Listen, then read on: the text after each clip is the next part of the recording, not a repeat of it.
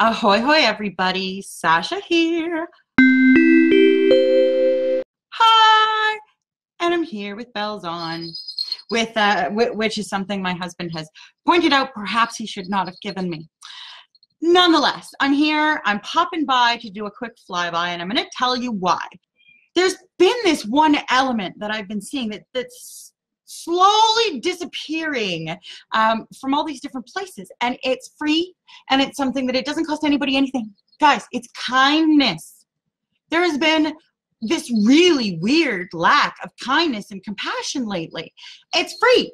You, it doesn't cost you anything to be a nice human being. Like cost you that much to be a nice human being. So why why aren't we just going that little bit more to be kind? I mean, you're going to get problem solved faster if you're being a nice person. You're going to get more uh, more interaction. People are generally going to like you. Your life will be easier if you are generally a kind person. So I'm gonna I'm just going to keep keep on keep it on, but I'm actually going to push on this trend because I want everybody to go out and do something kind. Anything kind. It's something that I try to do at least once a day. So I challenge you. You don't have to wear the ears, but go out and do something nice for somebody, hey?